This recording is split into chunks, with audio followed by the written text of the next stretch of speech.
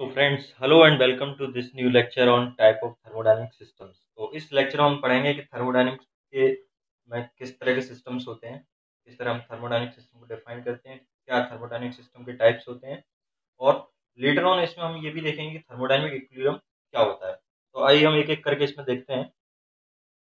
सबसे पहले सिस्टम क्या होता है? System basically we can define a system as a quantity of matter which is under consideration to analyse the problem है ना? कोई भी सिस्टम क्या होता है, जो एरिया अंडर कंसिडरेशन होता है, उसको हम सिस्टम बोलते हैं।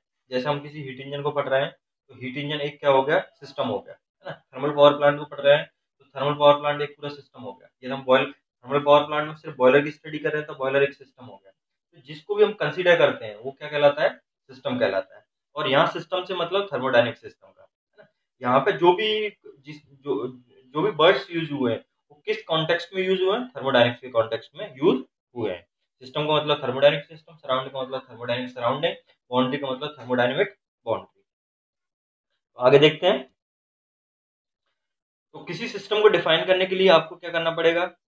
हमको तीन चीज़ें स्पेसिफाई करनी पड़ेगी क्या क्वांटिटी है, कितना क्वांटिटी है, और उसकी प्रॉपर्टी क्वांटिटी में क्या हो सकता है? मास हो सकता है वॉल्यूम हो सकता है। प्रॉपर्टी में क्या हो सकता है? प्रेशर हो सकता है टेम्परेचर हो सकता है, और एनर्जी इन सारी चीज़ों को की ज़रूरत पड़ेगी when we need to define a thermodynamic system इसके बाद हम देखते हैं सराउंडिंग सिस्टम के अलावा जो बाहर होता है, वो क्या होता है? सराउंडिंग होता है। लेकिन बाहर का मतलब यहाँ सराउंडिंग का मतलब ये है कि वो सिस्टम का पार्ट ना हो but it can influence the system ठीक है? सराउंडिंग का मतलब ये है that is not a part of the system whatever is outside of the system is called as surrounding which can influence the system जो कि आपके सिस्टम को इन्फ्लुएंस कर सकता हो। ठीक है? तो जैसे फॉर एग्ज़ाम्पल बॉयलर की हम बात करें, ठीक है? हमने एक बॉयलर लिया तो बॉयलर में क्या होगा? बेसल होगा। बेसल में नीचे क्या होगा रहा होगा? हम हीट सप्लाई कर रहे होंगे, ठीक है? तो बेसल को हम क्या कंसीडर कर सकते हैं? सिस्टम कंसीडर कर सकते हैं। और जहाँ से हम हीट सप्लाई कर रहे हैं, वो क्या हो जाएगा? सराउंडिंग हो जाएगा। क्योंकि हीट सप्लाई क्या कर रहा है? बॉयलर के परफॉर्मेंस को इफ़ेक्ट कर रहा है। यदि हीट सप्लाई की क्वांटिटी बढ़ा दूँगा तो स्टीम के फॉर्मेशन की रेट बढ़ जाएगी। स्टीम यदि मैं हीट सप्लाई की क्वांटिटी कम कर दूँगा तो स्टीम के फॉर्मेशन की जो रेट है, वो क्या हो जाएगी? कम हो जाएगी। ये सराउंडिंग होता है, ठीक है? सिस्टम और सराउंडिंग जो एनालाइज कर रहा है, उस पर डिपेंड करता है, वो कौन सा उसको सिस्टम कंसीडर करना है और उसके आउटसाइड होगा वो सराउंडिंग होगा। नेक्स्ट इज़ बाउंड्री जो सिस्टम और सराउंडिंग को सेपरेट करता है सिस्टम और सराउंडिंग के बीच में जो दीवार होती है बाउंड्री होती है, उसको हम बोलते हैं बाउंड्री ठीक है? तो definition we can see thing which separate system from the surrounding जो सिस्टम को सराउंडिंग से सेपरेट करती है it could be real and it could be imaginary ये वास्तविक बाउंड्री भी हो सकती है, जो कि फ़िज़िकल हो सकती है और इमेजनरी भी हो सकती है। अब आगे देखते हैं इसमें सिस्टम सराउंडिंग बाउंड्री जैसे हमने देखा, इसको एक एग्जांपल के थ्रू समझते हैं। जैसे यहाँ पे आप देख रहे हो ये है। यहाँ पे आप देखेंगे तो ये सिस्टम है, इसके अंदर मान लीजिए कोई गैस या कुछ भी है लिक्विड है, ये सिस्टम कहलाएगा, ठीक है? और ये सिस्टम के मान लीजिए किसी बर्तन में है तो वो क्या हो जाएगी? बाउंड्री हो जाएगी। और इसके बाहर जो भी होगा, वो क्या होगा? सराउंडिंग होगा। तो बाउंड्री रियल भी हो सकती है, जैसे मैंने यहाँ कंसिडर किया कि कोई बर्तन है, जिसमें आपका कोई लिक्विड रखा हुआ है तो बर्तन को हम क्या मान सकते हैं? बाउंड्री मान सकते हैं। और लिक्विड क्या हो सकता है? सिस्टम हो सकता है। और उसके बाहर जो होगा, वो क्या होगा? सराउंडिंग होगा। ठीक है तो यहाँ बाउंड्री रियल है। बाउंड्री इमेजनरी भी हो सकती है। ठीक है तो जैसे इसमें हम देखते हैं। इसको एक और एग्जांपल से समझाया आप यहाँ पे देखेंगे तो। ये पिस्टन सिलेंडर अरेंजमेंट है। ठीक है इसमें अंदर जो होगी, वो गैस है। ये सिस्टम कंसीडर कर लिया है। ये पिस्टन है। यहाँ से आप ऊपर से इसको वर्क सप्लाई कर रहे हैं। है ना? गैस को कंप्रेस करने के लिए इंजन से हीट सप्लाई कर रहे हैं। तो ये गैस है, ये तो क्या हो गया? सिस्टम हो गया आपका। और इसके आउटसाइड जो भी है, जो आप हीट दे रहे हैं वर्क सप्लाई कर रहे हैं, वो सारे किसमें आ जाएँगे? सराउंडिंग का पार्ट कहलाएँगे ये तो क्वांटिटी है बेसिकली तो इसके बाहर जो भी होगा, वो क्या होगा? सराउंडिंग होगा। ठीक? तो सिस्टम समझ में आता है? जो जो एरिया अंडर स्टडी होता है अंडर कंसिडरेशन होता है, उसको हम सिस्टम बोलते हैं। और सराउंडिंग वो बाउंड्री जो सिस्टम और सराउंडिंग को सेपरेट करती है, उसको हम थर्मोडाइनमिक बाउंड्री कहते हैं। अब इसमें देखते हैं तीन तरह के सिस्टम कौन से कौन से होते हैं। तो इसमें तीन सिस्टम होते हैं। एक ओपन सिस्टम होता है क्लोज सिस्टम होता है और आइसोलेटेड सिस्टम होता है। ओपन सिस्टम क्या होता है जिसमें आपका एनर्जी और मास दोनों सिस्टम और सराउंडिंग के बीच में एक्सचेंज हो सकते हैं। वो कहलाते हैं ओपन सिस्टम ठीक है? अब इसको एग्ज़ाम्पल से समझते हैं। ये तो सिंपल डेफिनेशन हो गया। System which could exchange energy and mass between system and surrounding is called as open system अब इसको एग्ज़ाम्पल से समझते हैं जैसे बॉयलर बॉयलर आपका ओपन सिस्टम है। अब ये बॉयलर किस तरह से हीट और वर्क को एक्सचेंज करता है वो हम समझते हैं। देखिए बॉयलर में क्या है? हम हीट सप्लाई कर रहे हैं, ठीक है? बॉयलर में हीट सप्लाई कर रहे हैं तो क्या हो गया? हीट एनर्जी का इंट्रेक्शन हो गया, ठीक है? बाहर से हम हीट सप्लाई कर रहे हैं तो सराउंडिंग से हीट बॉयलर के अंदर जा रही है तो एक एनर्जी का इंट्रेक्शन हो गया। दूसरा मास की अगर हम बात करें तो बॉयलर में क्या है? वाटर आ रहा है और स्टीम लीव हो रहा है कंटिन्यूसली तो मास एंटर कर रहा है और मास लीव कर रहा है। तो ये क्या होगा? ओपन सिस्टम होगा। ओपन सिस्टम में क्या होता है? एनर्जी मास दोनों का ट्रांसफ़र होता है बिटवीन सिस्टम एंड सराउंडिंग तो आप देखोगे बॉयलर में क्या है?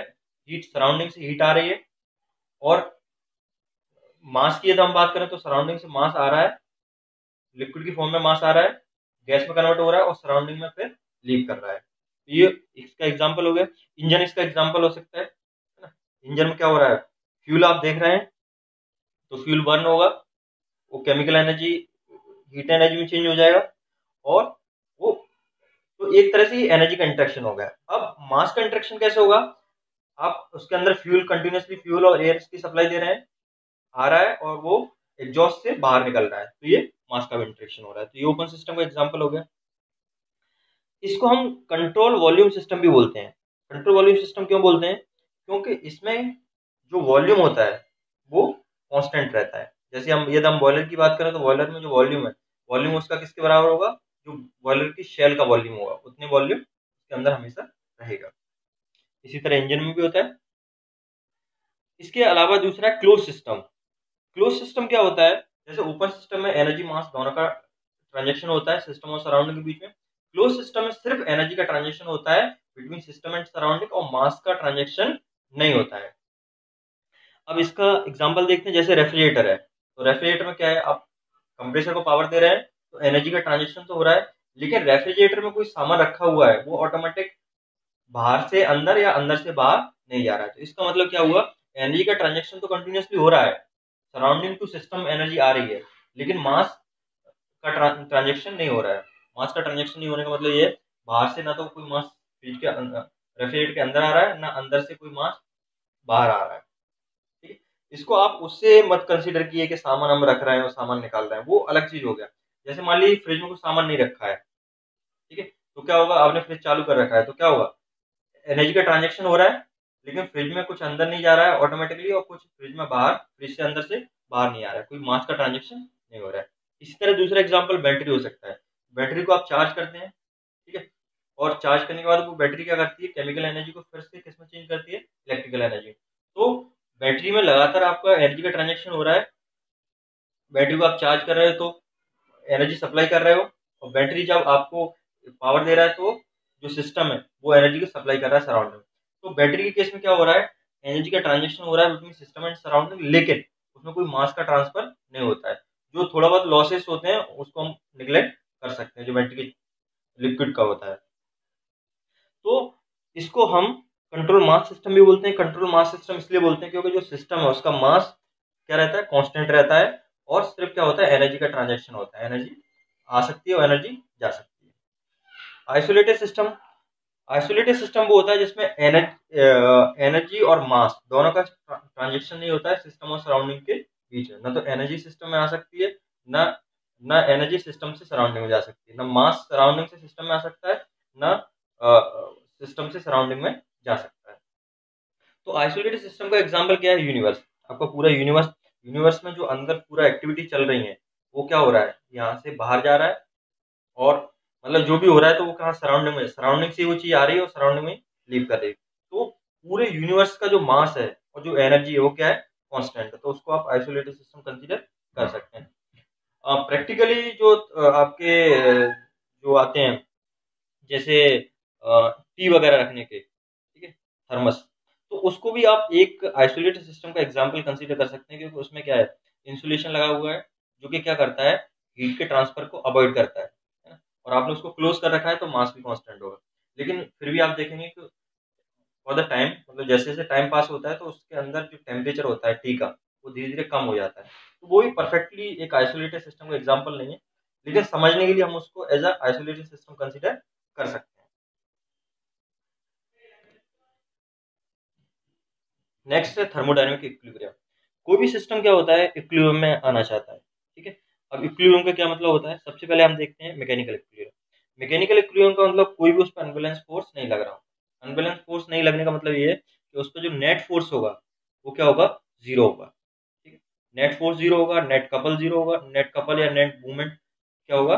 ज़ीरो होगा और कोई भी सिस्टम क्या अपने हमेशा इक्विलिब्रियम अटेंड करना चाहता है। ये तो उस पर कोई फोर्स लग भी रहा होगा तो वो इंटरनली इस तरह से एडजस्ट करेगा कि वो इक्विलिब्रियम में आ जाए। ठीक है? Next is chemical equilibrium chemical equilibrium कब होता है? जब सिस्टम और सराउंडिंग के बीच में कोई रिएक्शन नहीं हो रही हो। मैकेनिकल इक्विलिब्रियम का मतलब यहाँ पे ये है कि सिस्टम और सराउंडिंग के बीच में कोई अनबैलेंस फोर्स एक्ट नहीं कर रहा हो। है ना? जो सिस्टम है बेसिकली उस पर कोई अनबैलेंस फोर्स एक्ट नहीं कर रहा हो तो वो मैकेनिकल इक्विलिब्रियम में कराएगा। सिस्टम और सराउंडिंग के बीच में कोई केमिकल रिएक्शन नहीं टेक प्लेस हो रही हो तो वो केमिकल इक्विलिब्रियम कहलाएगा। इसी तरह से आप देखेंगे थर्मल इक्विलिब्रियम थर्मल इक्विलिब्रियम कब होता है? जब हीट का ट्रांसफ़र नहीं होता है, ठीक है? हीट का ट्रांसफ़र किसकी वजह से होता है? टेम्परेचर डिफरेंस की वजह से। जब टेम्परेचर कांस्टेंट हो जाता है तो वो कहलाता है थर्मल इक्विलिब्रियम दो ऑब्जेक्ट है, एक हाई टेम्परेचर लोअर टेम्परेचर यदि आप उनको कॉन्टेक्ट में लाएँगे तो हीट का ट्रांसफ़र होगा high temperature to lower temperature कब तक? जब तक दोनों का टेम्परेचर बराबर नहीं हो जाए। ये एक स्टेट कहलाती है थर्मल इक्विलिब्रियम स्टेट कोई भी सिस्टम थर्मोडाइनमिक इक्विलिब्रियम में तब कहलाएगा जब वो मैकेनिकल इक्विलिब्रियम में भी हो केमिकल इक्विलिब्रियम में भी हो और थर्मल इक्विलिब्रियम में हो तीनों इक्विलिब्रियम में वो सेटिस्फाई कर रहा है then that system can be considered in a state of thermodynamic equilibrium. So, this is it. Thank you for watching. Please do subscribe and put questions in the comment section.